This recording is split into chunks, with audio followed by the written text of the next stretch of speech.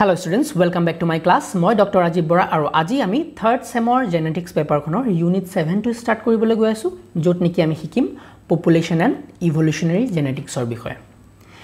এই ইউনিটটো তোমালোকৰ লাষ্ট ইউনিট আৰু মষ্ট অফ দ্য ষ্টুডেণ্টছে এই ইউনিটটো বহুত টাফ পায়। বস্তুবিলাক নপঢ়ি পেলাই মানে যিহেতু টান কিবা কিবি বস্তু আছে যেনেকৈ allele frequency genotype frequency Hardy Weinberg law এইবিলাক বস্তু টান পায়। মই কিয় কৈছোঁ?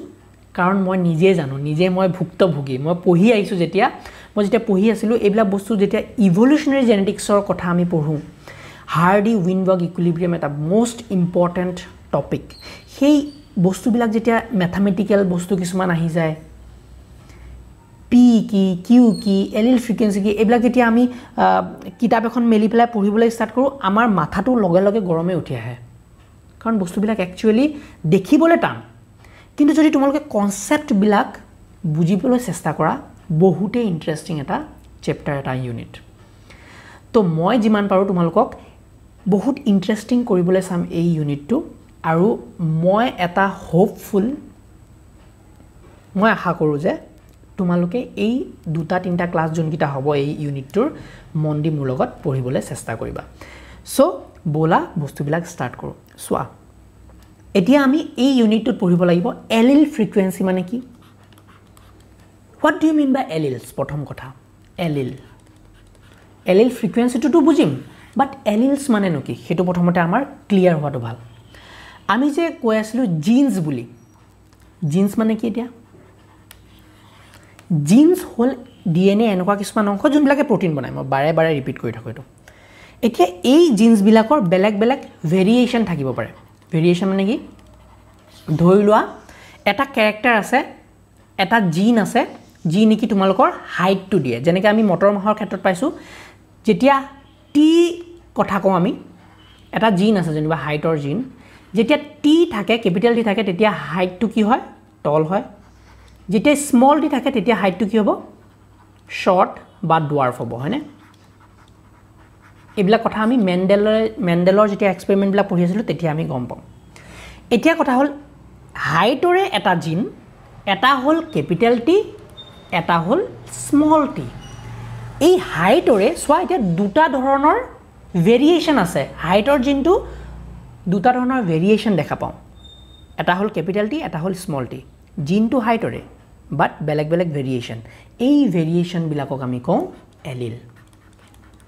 যদি তোমালোকে ৰিয়েল লাইফ এক্সাম্পল এটা দিওঁ ধৰি লোৱা বাইক এভেঞ্জাৰ বাইকখন বা পালচাৰ বাইকখন পালচাৰ বাইকখন এখনেই বাট পালচাৰৰ টু টুৱেণ্টিও আছে ওৱান ছিক্সটিও আছেনে?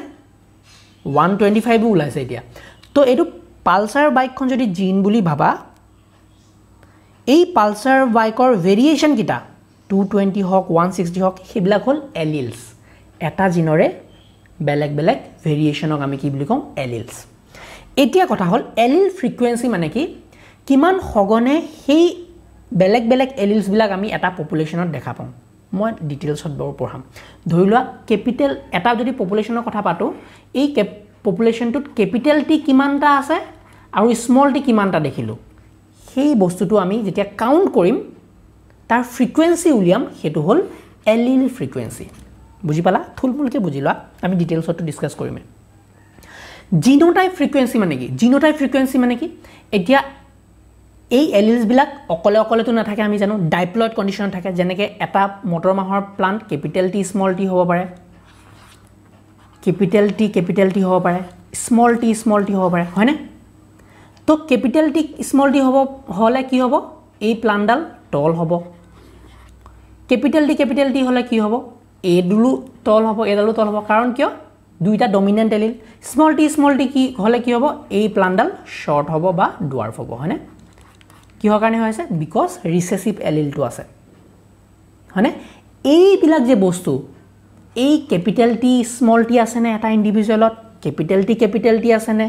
সেইটো হ'ল জিনোটাইপ বুজিলানে? যেতিয়া ইণ্ডিভিজুৱেল এটাৰ ভিতৰত যেতিয়া অৰ্গেনিজমৰ এটাৰ ভিতৰত কেনেকুৱা ধৰণৰ এলিল আছে? কেপিটেল টি কেপিটেল টি আছেনে স্মল টি স্মল টি আছেনে সেইবিলাক যেতিয়া আমি ষ্টাডি কৰিম সেইটো হ'ল জিনোটাইপ আৰু এনেকুৱা ধৰণৰ বস্তুবিলাক পপুলেশ্যনত কিমানবাৰ ৰিপিট হৈছে সেইটো যদি আমি মেথামেটিকেলি উলিয়াওঁ সেইটো কওঁ আমি কি? জিন'টাইপ ফ্ৰিকুৱেঞ্চি বুজিলা? এলিল হ'ল ছিংগল ছিংগল এলিলৰ যেতিয়া ফ্ৰিকুৱেঞ্চি ওলাওঁ সেইটো হ'ল এলিল ফ্ৰিকুৱেঞ্চি জিন'টাইপ ফ্ৰিকুৱেঞ্চি মানে কি? যেতিয়া দুটা দুটা এলিল মিলি পেলাই এটা এটা জিন'টাইপ বনায় সেই জিন'টাইপৰ ফ্ৰিকুৱেঞ্চি যেতিয়া আমি চাম সেইটো হ'ল জিন'টাইপ ফ্ৰিকুৱেঞ্চি হাৰ্ডি উইনবাৰ্গ লটো কি বস্তু? এতিয়া এই এলিল ফ্ৰিকুৱেঞ্চি আৰু জিন'টাইপ ফ্ৰিকুৱেঞ্চি মিলি পেলাই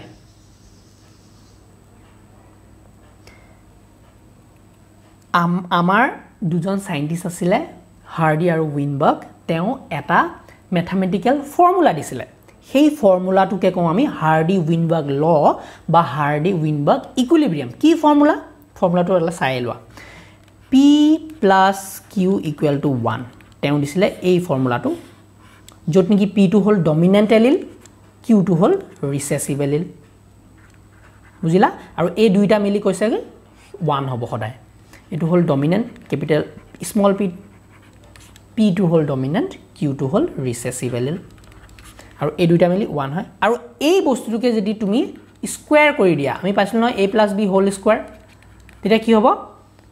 এইটো হ'ব P square plus Q square plus two P Q equal to one এই দুটা ইকুৱেশ্যন আমাৰ হাৰ্ডি উইনবাৰ্গ ইকুৱেশ্যন বুলি কওঁ বা হাৰ্ডি উইনবাৰ্গ ল কি বস্তু আমি ডিটেইলছত পঢ়িম? আজি খালি এটা ইণ্ট্ৰডাক্টৰী ক্লাছ তোমালোকৰ কৰাই আছোঁ। যাতে তোমালোকে বস্তুটো অভাৰভিউটো তোমালোকে লৈ লোৱা। এই চেপ্টাৰটো আমি কেনেকুৱা ধৰণৰ বস্তু পঢ়িবলৈ গৈ আছোঁ। টান পাইছা নেকি বাৰু এতিয়ালৈকে?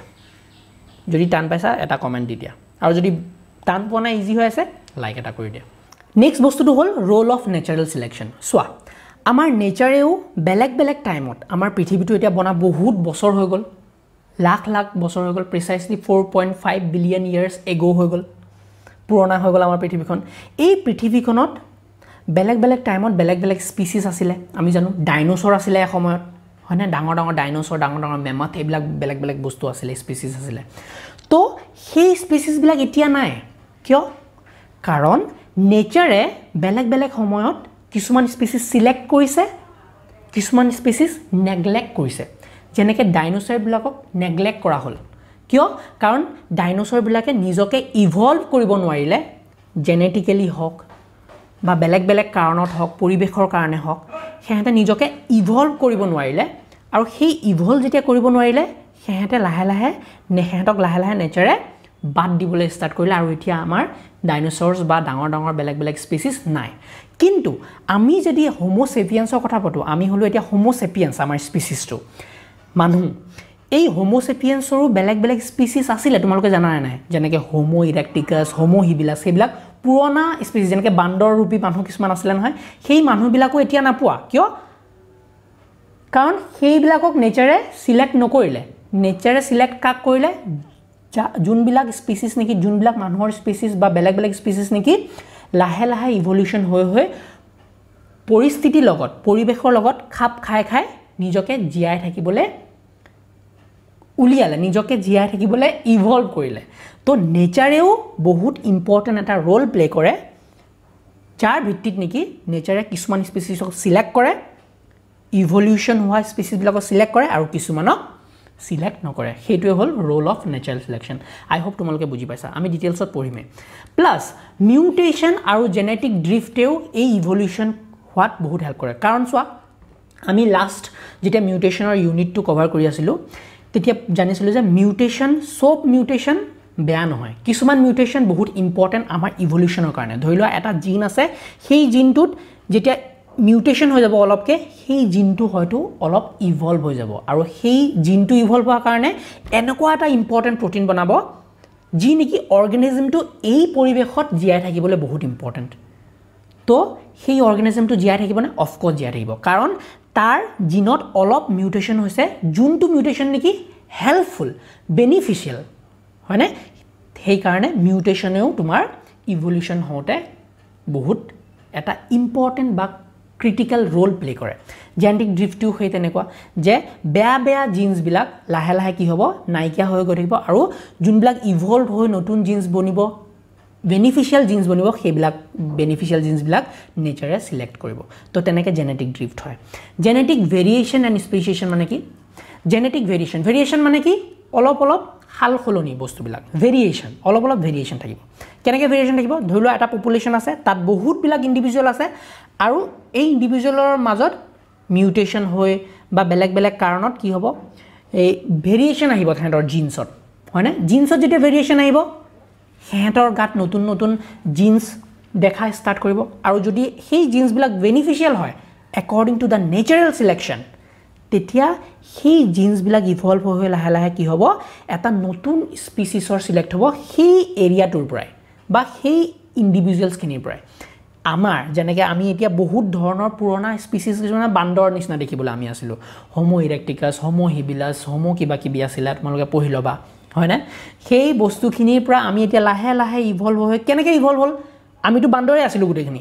বান্দৰৰ পৰাই ধৰি লোৱা দুটামান মানুহ ওলালে যোন নেকি অলপ থিয় হোৱা ষ্টাৰ্ট কৰিলে। হয়নে? সিহঁতক কওঁ হোমো ইৰেক্টিকাছ তো থিয় হ'লে কি হয়? সিহঁতে দৌৰিব বেছিকৈ পাৰে। তো তাৰ তাক মেইনটেইন কৰিবলৈ কিছুমান হয়তো জিন্সত সাল সলনি হৈছে মিউটেশ্যন হৈছে। তেতিয়া কি হ'ল? যেতিয়া দৌৰিব পৰা হ'ল সিহঁতে সোনকালে গছত উঠিব পৰা হ'ল। সোনকালে গছত উঠিব পাৰিলে কি হয়? বা কিছুমান প্ৰিডেটাৰ আহিলে লায়ন চায়ন আহিলে বাঘ চাক আহিলে সিহঁতে দৌৰি পলাব পাৰে। সিহঁতে বাচি যায় আৰু সিহঁতে বাচিলে কি হ'ল? সেই দুটা তিনিটা স্পিচিছ বেছিকৈ ৰিপ্ৰডিউচ কৰিব পাৰে। ৰিপ্ৰডিউচ কৰিব পাৰিলে কি হ'ল? সিহঁতৰ জিনৰ বস্তুবিলাক বাঢ়ি গ'ল। এইবিলাক আইডিয়াবিলাক মই খালি দি আছোঁ। তেতিয়া কি হ'ব? সেই পপুলেশ্যনটোৰ পৰা এটা নতুন স্পেচিছৰ চিলেকশ্যন হ'ল যোনবিলাক নেকি এতিয়া থিয় থিয় হ'ব পাৰে হোমো ইৰেক্টিকাছ হয়নে? তো হোমো ইৰেক্টিছ হোৱা লাহে লাহে কি হ'ল? হোমো ইবিলাক নতুন নতুন স্পেচিছ বনিলে যোন নেকি ষ্ট'ন ইউজ কৰিব পৰা হৈ গ'ল লাহে লাহে ইভল্ভ হৈ তাৰপিছত যোনে নেকি ফায়াৰ ইউজ কৰিব পৰা হৈ গ'ল। এইবিলাক কিহৰ কাৰণে হৈ আছে? বিকজ অফ ইভলিউশ্যন তাৰ মেণ্টেলি কিছুমান ইভলিউশ্যন হৈ আছে। আৰু মেণ্টেলি ইভলিউশ্যন কিয় হৈছে একচুৱেলি জেনেটিক লেভেলত হয়তো কিছুমান মিউটেশ্যন যোনবিলাক বেনিফিচিয়েল মিউটেশ্যন সেইবিলাক হৈ আছে। বুজি পালা? তো সেই বস্তুবিলাকৰ কাৰণে কি হ'ল? ফাইনেলি আমাৰ এটা নতুন স্পিচিছৰ সৃষ্টি হয়। আৰু সেই প্ৰচেছটো যোনটো এই নতুন স্পিচিছৰ সৃষ্টি হোৱা প্ৰচেছটোকে আমি কওঁ স্পেচিয়েশ্যন বুজিলা?